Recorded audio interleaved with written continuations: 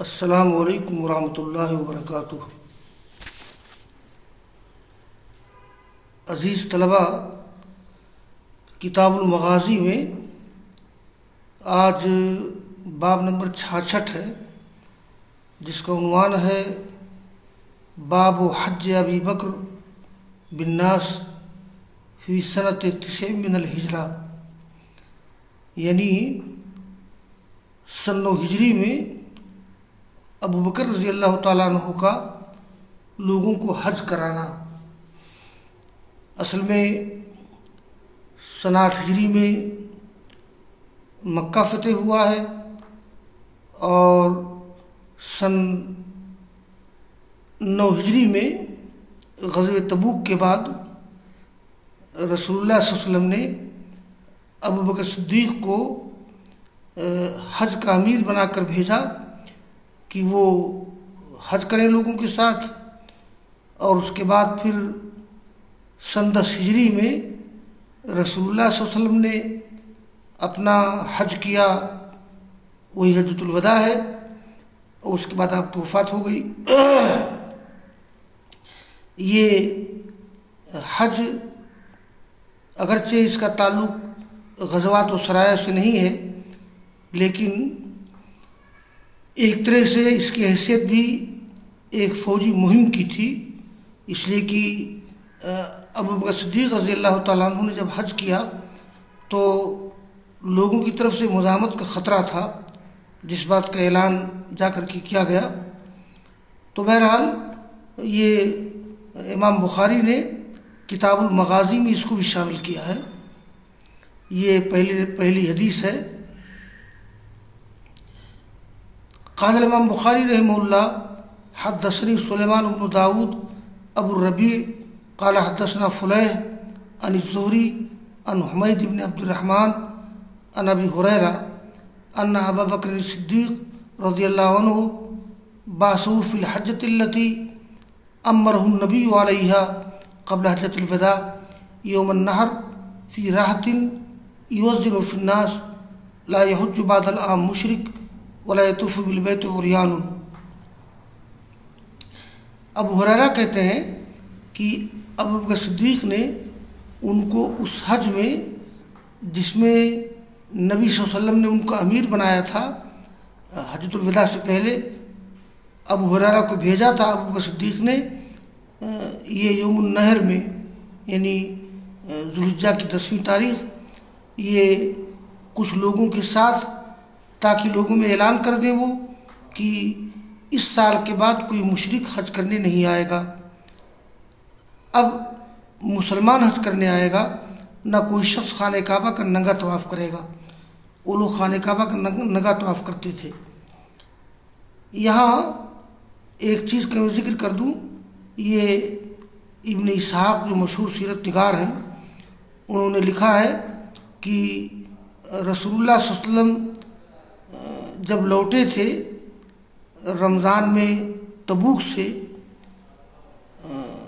तो आप माह रमज़ान में ये, माह, ये गजब तबूक के बाद आप ठहरे शवाल और जुकादा में और फिर जुलजा में अबू बकर को अमीर बनाकर भेजा हज के लिए। तो इससे बात मालूम होती है कि अबू बकर सिद्दीक़ को भेजा जाना जुकादा के ख़त्म होने के बाद हुआ था। और उनका हज जुलजा में हुआ इस तरह से। और इससे इस बात का इस्तलाल किया गया है कि हजतुलवदा से पहले हज फ़र्ज़ हो चुका था। और इस बारे में अदीस मशहूर हैं। बाज़ा का ख्याल ये है कि अबू बकर सिद्दीक़ ने जब हज किया था तो हज फ़र्ज़ नहीं था। यानी हज फ़र्ज़ हुआ है हजतुलवदा के मौके पर। लेकिन ये बात सही नहीं। आगे की रवायत देखिए। कल इमाम बुखारी रहमुल्ला हदसना अब्दुल्ला इबन रज़ा, काल हदसना इसराइल नबी साहब अनिल बरा रज़ी क़ाल, आखिर सूरत नज़लत कामिलतन बरा व आखिर सूरत नज़लत ख़ातमत सूरत नसा यस्तफ़तून कफ़ुल्ला फ़तुकुम यानी सबसे आखिर सूरा जो नाजल हुई है मुकम्मल तौर पर, ये सूर बरा है। और सबसे आखिरी सूरा जिसका, ये आखिरी सूरा व आखिर सूरत नजरत ख़ातमत सूरत ख़ातमत सूरत नसा। यानी सूर निसा के आखिरी आयात का नजूल आखिर में हुआ है। वो क्या है? लोग आपसे पूछते हैं तो कह दो कि अल्लाह ताला फतवा देता है कलाला के बारे में, उसका तस्करा सूर निसा में हुआ है। ये इसको क्या मुनासबत है इस बाब से? असल में ये सूर बरा जिसका नाम सूर तोबा भी है तो अबू बकर सिद्दीक़ के हज के मौके पर सूर बरा के अहकाम का ऐलान किया गया था। और ये आयात ये हैं, ये देखिए। बरात मिनल्ला व रसूल लजीना आहत मिनमशरकिन फ़सीह फ़िल अर्ज़ अरबात अशरिन वालम अनकुम गैर मुजिल्ला वान मुखजिल काफरीन। व आज़ान मिनल्ला व रसूल इलन्नासीम हज अकबर। अल्ला बरी मुशरकिन व रसूल फ़ैन तुब तुम फ़ खैरकुम वन तवल तुम फ़ालम अनकुम गैर मुजिल्ला व बशर लजीन कफ़र बिन अलीम। तो ये सूर बरा का नज़ूल अबू बकर सिद्दीक़ रज़ी अल्लाह तु के हज के मौके पर हुआ था, बल्कि जब वो हज के लिए जाने लगे थे तो इस सूरा का नजूल हुआ है और इसमें जो बारात का इजहार किया गया है कुफ़ार मशरकिन से, इसी का ऐलान अबू बकर सिद्दीक़ ने अबू हुरारा वगैरह के ज़रिए से कराया था। और इसके बाद, बाब नंबर सड़सठ है, बाबू वफद बनी तमीम। ये मैं ज़िक्र कर चुका हूँ कि सन नौ हिजरी और दस हिजरी में मुतद वफूद आपके पास आए, या उन्हीं का ज़िक्र किया जा रहा है। असल में जब इस्लाम गालिब हो गया और कुफर शिरक मगलूब हो गया तो फ़तेह मक्का के बाद लोग जूग दर इस्लाम में दाखिल होने लगे और आपके पास वफद आते थे मुख्तलिफ़ जगहों से। इमाम बुखारी ने यहाँ से उन वफूद का तस्करा किया है, बल्कि सन हिजरी को आमुल वफूद कहा जाता है और जो आने वाले आने वाले वफूद की तादाद सत्तर है, फ़तेह मक्का से के बाद, फ़तेह मक्का से पहले और फ़तेह मक्का के बाद। तो एक वफ्त का तस्करा यहाँ किया जा रहा है। कल बुखारी रहमुल्ला हदसना अबू नुआम काल हदसा सुफियान, अन अबी सखरा, अन सफ़वान इबन महरज़माजनी अन इमरान इबन हुसैन रदी अल्लाहुमा काला अता नफरुम बनी तमीमिन, अन नबी वसल्लम फ़काल इकबलबुशरा या बनी तमीम। काल या रसूल कद बशरतना फ़ातना रोया ज़ालिक फ़ी वजी फ़जा नफरुम मिनल यमन फ़काल इकबलबुशरा इज़लम यकबला बनु तमीम कालू कद कबिल रसूल अल्लाह ये रवायत पहले भी आ चुकी है कि बनु तमीम का एक वफ्द आया आपके पास तो आपने कहा खुशखबरी ले लो ए बनु तमीम ये वफ्द आया था सन्नो हिजरी में तो लोगों ने कहा कि अल्लाह के रसूल आप हमको खुशखबरी दे रहे हैं बस कुछ अता कीजिए ना। तो आपके चेहरे में नाराज़गी देखी गई तो उसी मौके पर बन तमीम ये यमन से वफ्द आया। तो आपने कहा कि तुम खुशखबरी कबूल कर लो, जबकि बनु तमीम ने कबूल नहीं किया है। तो लोगों ने कहा कि हम, हमने कबूल किया है। और ये, इसके बाद एक बाब है, ये बाब नंबर अड़सठ।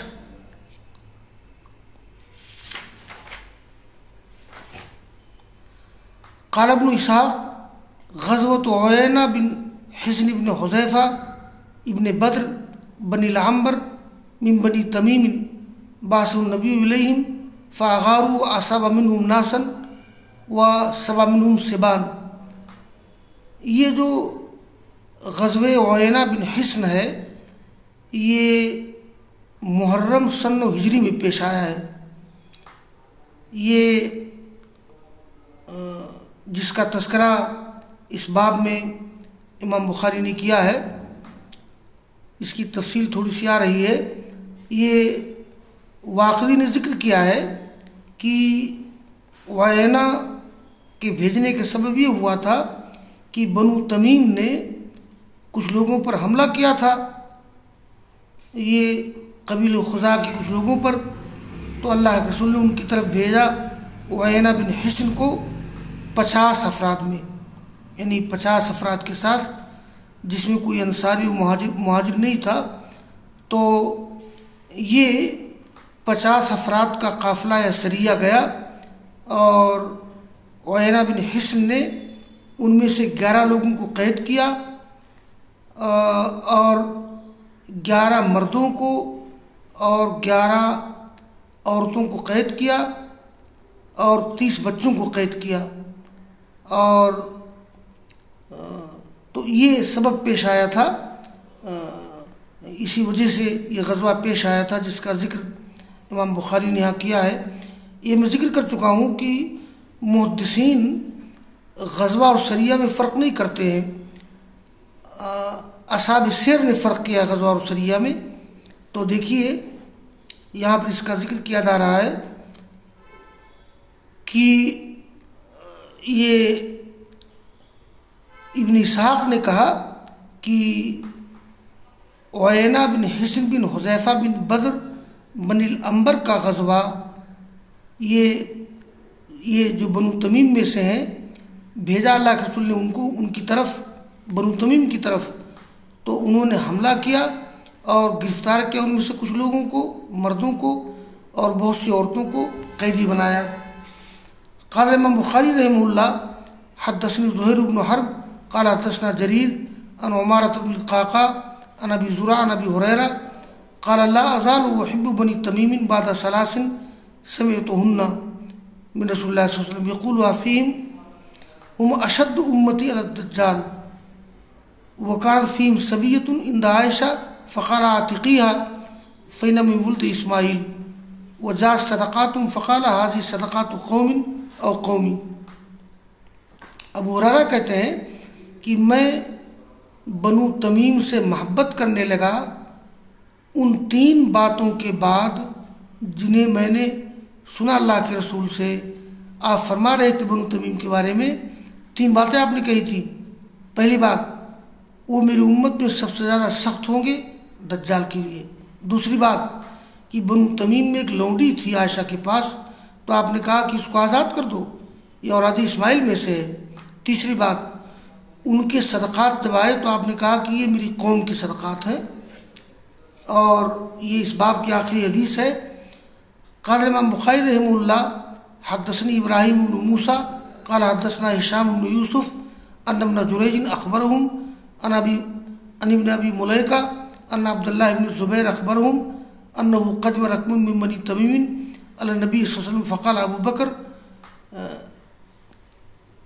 अमरिल काका बिन महाबत इबन जुरारा फ़क़ाल उमर बल अमरिल अकरा बिन हाबिस काला अबू बकर मारत इला खिलाफ़ी काला उमर मारत तो खिलाफ़ का फ़तमारा अतर तफ़त असवातोमा फ़नज़ला फ़िज़ान का या अयुल्लिनामनु ला तकदम बैन व रसूली हतन क़ज़त ये ज़िक्र किया गया है कि अब्दुल्ला ज़ुबैर कह, ने बताया उनको कि बनु तमीम का एक काफ़िला आया अल्लाह के रसूल के पास। तो अबू बकर ने कहा कि, काका बिन महाबत बिन जुरारा को अमीर बना दीजिए। तो उमर ने कहा कि नहीं, अकरा बिन हाबिस को अमीर बना दीजिए। अबू बकर ने कहा कि, तुम तो मुझसे इख्तलाफी करते हो। उमर ने कहा कि मैं आपसे इख्तलाफ का नहीं कर रहा हूँ, यानी एक मेरी राय है, और वो दोनों बहस मुबासा करने लगे। यहाँ तक कि उन दोनों की आवाज़ बुलंद हो गई मस्जिद नबी में, और अल्लाह के रसूल का कमरा बगली में था। तब इनायत का नजुल हुआ, या युल्लदीनामनु ला तो कदमों बिन व रसूल ही इन्हें यही मान लाने वालों, तुम लोग अपने आप को अल्लाह रसूल से आगे न करो। यहाँ तक कि वायद पूरी हुई। तो ये सुर हजरात की नायात के नजूल का सबब अबू बकर उमर का ज़ोर ज़ोर से बात करना था। लेकिन इस सिलसिले में मुसनद अहमद जिल्द तीन, सफ़ा जिल्द तीन में हदीस नंबर ये साठ हज़ार चार सौ अठासी में ये ज़िक्र किया गया है कि बनु तमीम के बाद आराबी दोपहर के वक्त आए, आप कैलूला कर रहे थे, ज़ोर से आवाज़ लगाई, या मोहम्मद या मोहम्मद, ताकि आप बाहर आ जाएँ। इस मौके पर आयात का नजूल हुआ। आप आराम कर रहे थे और लोगों ने आकर के आवाज़ दी तो ये एक तरह से बेदबी थी। उस पर इन आयात का नजूल हुआ है। तो ये कल एक दरस और होगा, जिस पर इन ये किताबुल मगाज़ी का दर्स मुकम्मल हो जाएगा। अगरचे बहुत से अबवाब बाकी रह गए हैं। वाखुर दावाना अनिलहमदिल्ला रब्बिल आलमीन।